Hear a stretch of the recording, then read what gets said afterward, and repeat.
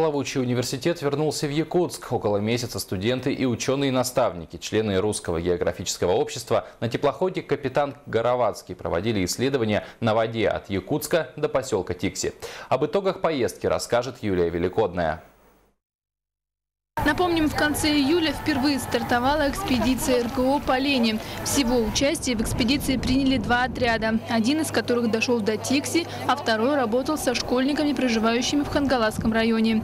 Ребята узнали, как вязать узлы, как проводится геодезическая съемка и не только. Они смогли посетить различные мастер-классы. Участником экспедиции стала студентка из Франции, которая впервые посетила Россию. По моей тематике, по гидробиологии озер, а, очень такой заинтересовался мальчик, второклассник, и меня это очень удивило, потому что во втором классе интересоваться чем-то запредельным для своего возраста, это так отрадно было. Я почувствовала, что я внесла какой-то вклад в его будущее.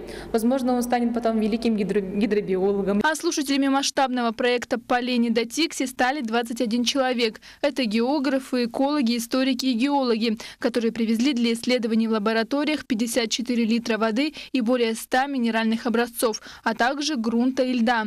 Результаты будут готовы примерно в течение месяца. Нашими историками добыты ранее неизвестные документы по истории Якутии, в частности, по истории значит, развития речного транспорта, по истории развития рыбной промышленности Якутии.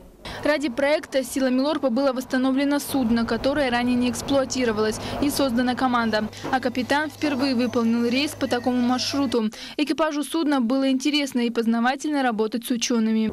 Люди, как говорится, уже с большим опытом, это помимо студентов, там же и доктора наук.